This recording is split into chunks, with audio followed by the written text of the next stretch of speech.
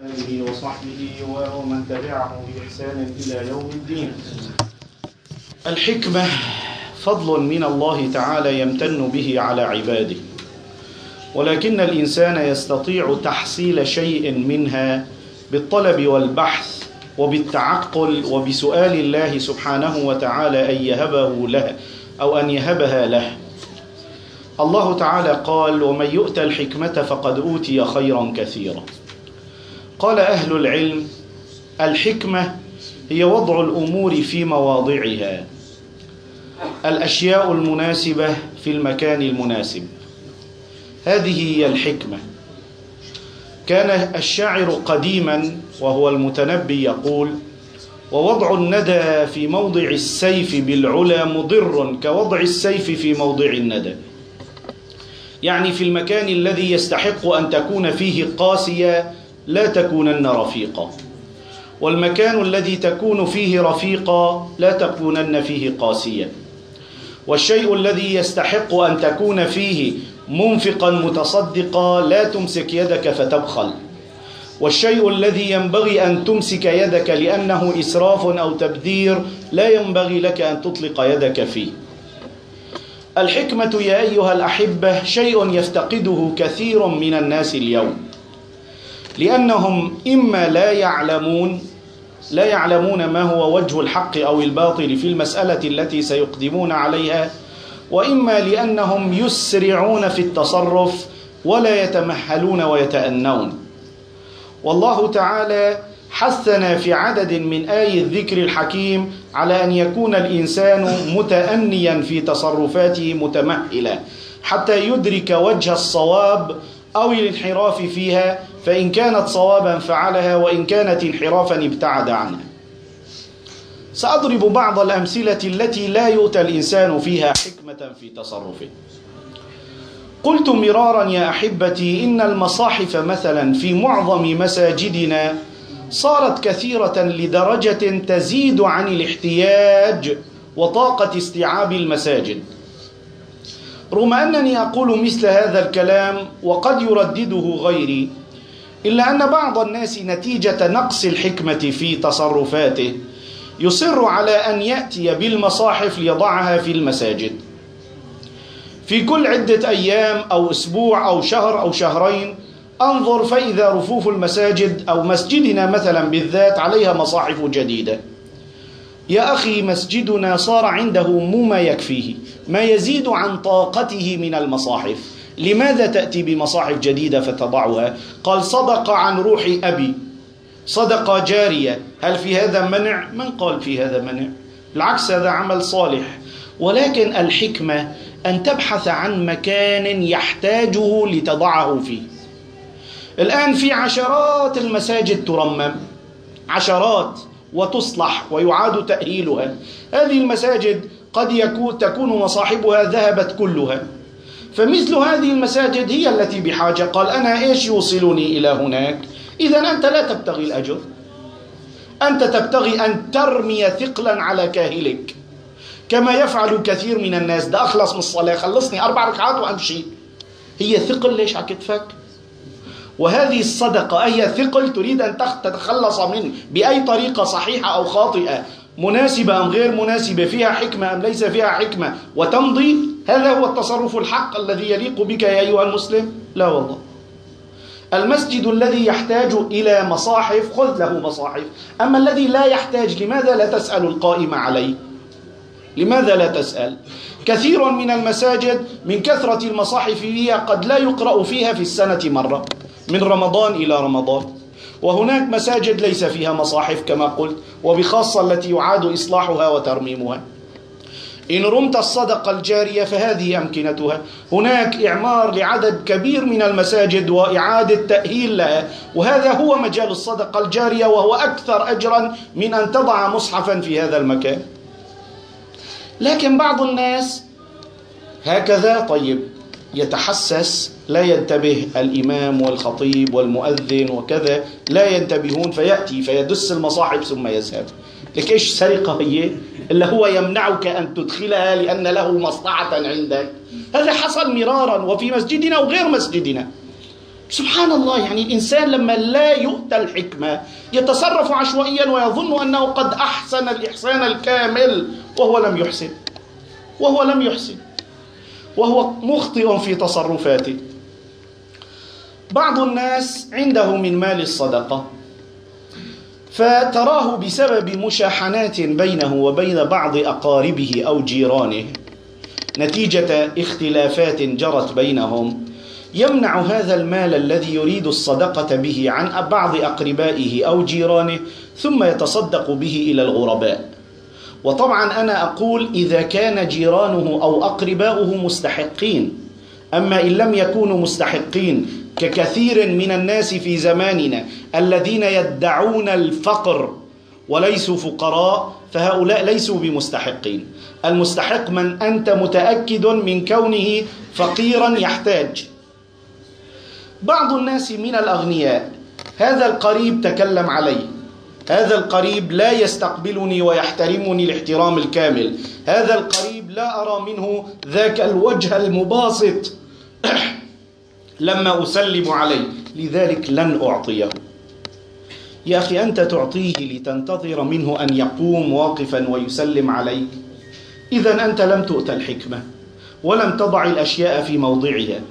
الصدقة على الفقراء صدقة. وعلى وعلى الفقراء من الأقرباء صدقة وصلة تنال بها أجرين تنال أجر الصدقة وأجر صلة الرحم. تنال بها على الجار أجر الصدقة وأجر حسن الجوار الذي رغب فيه الإسلام. والله ما بحب الجار فلاني ليش؟ كل إنسان أحبه هو الذي أعطيه. كثير من الناس قد أختلف معهم. بالتالي إذا كان كذلك فلن يعطي أحد أحدا. هذا أيضا ليس من الحكمة يا أيها المسلم.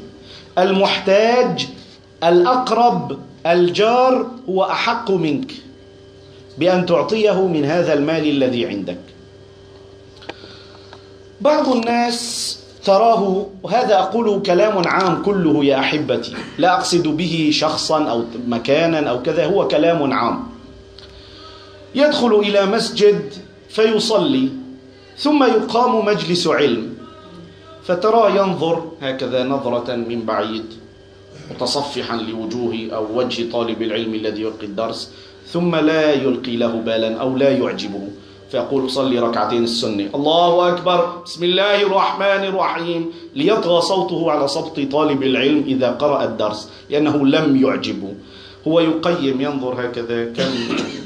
مثلا كذا. أعجبني ما أعجبني؟ يلا صلي السنة. ارفع صوتك فوق صوتي كي يخرس. وأصلي أنا السنة. هل هذا من الحكمة يا أيها المسلم؟ يا أخي ما أعجبك؟ اذهب فصلي في بيتك. أو ارجع إلى الصف الأخير فصلي ما شئت. أما لا يعجبك يقف أمامه. لعله يسكت. أما يسكت؟ هذا الإنسان يا أخي. لماذا يتكلم؟ إذا كنت أنت لا تنتفع فغيرك ينتفع. فاذهب أنت إلى البيت وكن حكيما في تصرفاتك. لا تكن شؤما على نفسك وعلى غيرك.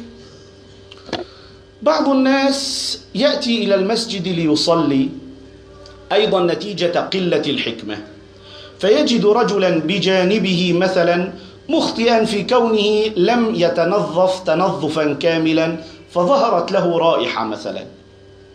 فطوال الوقت تراه يتقزز منه يشعره في الصلاة بأنه يتقزز منه يضربه هكذا بيده. ثم بعد الصلاة بيعمل إف وهو طالع بقول إذا بقيت أرجع الجامع وبيشوفوا هذا الشيء. إيه أنت تصلي لهذا الرجل؟ مرة سمعتها بأذني من شخص يتجاوز الخمسين. دخلت على صلاة الجمعة ولا شميت ريحة جرابات؟ إيه إيش بيصير يعني؟ فرضنا حصل هذا إيش بيصير؟ بطلت أجي وما عاد يصلي الجمعة. ما عاد يصلي الجمعة يا أيها الناس. ما هذا الذي يجري لعقول بعض الناس؟ أين الحكمة في تصرفاتك؟ أنت تصلي لهذا أم تصلي له لجارك أم لصاحبك أم للرائحة؟ أنت تصلي لله. فإن لم تسر في مكان فأنت قد تسر في غيره يعني. هذا المسجد لا تطيب نفسي فيه. كم من المساجد قد لا أرتاح مثلا للصلاة وراء إمام معين؟ قد لا تطيب نفسي بذلك. يا أخي مساجد الله كثيرة. صل في غيرها. لا هنا. هنا وكلما دخلت سأتكلم على هذا الإنسان. طيب لماذا يا أخي؟ لماذا؟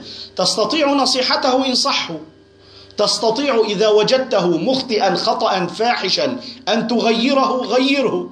أما أن تتكلم عليه ثم لا تأتي للمسجد من أجله فأنت لا تصلي لله إذا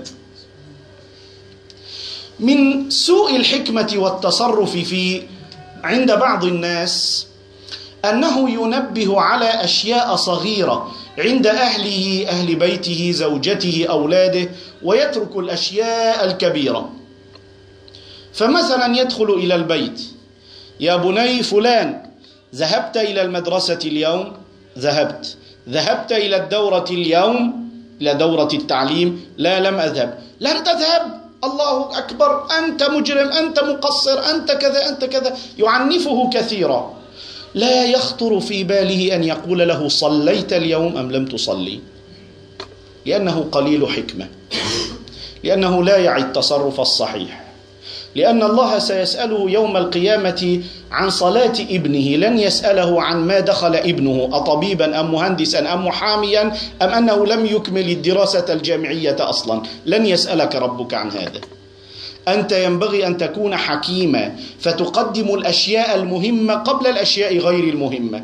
مهماتك تجاه أهل بيتك أن تلاحظ دينهم قبل شؤون دنياهم.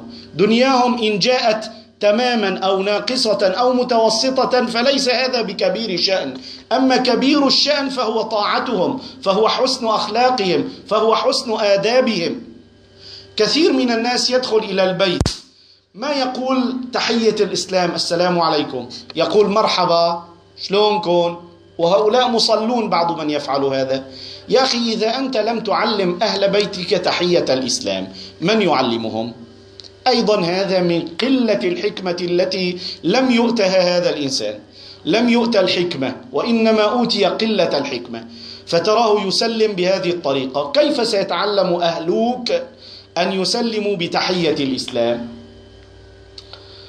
بعض الناس أيضا تراه إذا أراد فعل خير يتوقف ويسأل ويشاور أفعل كذا لما أفعل كذا يسأل فلانا أفعل كذا لا أفعل كذا. يا أخي في فعل الخير لا حاجة للمشورة. أما الفعل الذي لا يظهر في لا لك فيه هو خير أم شر لا تدري فهذا الذي تشاور فيه. فمثلا أنت تريد أن تشارك إنسانا وأنت لست متأكدا من شأن هذا الإنسان شاور هل أشارك فلانا أم لا أشاركه؟ أنت مثلا تريد الإقدام على سفر ولا تدري ماذا يأتيك منه. تسأل هل هذا خير أم ليس خيرا؟ تشاور وتصلي الاستخارة. أما مثلا في فعل الصدقات في فعل المبرات في صلة الأرحام في كذا من أفعال الخير أيا كانت هذه لا تشاور فيها أحدا. أنزل على الجامع لما أنزل. أعيف للعشاء لا أنزل المغرب. يا أخي إنزل في كل الصلوات ما المانع لك؟ هذه لا تحتاج إلى مشورة من أحد. هذه عمل خير وقرب إلى الله تعالى لا تشاور فيها أحدا من الناس أيا كان.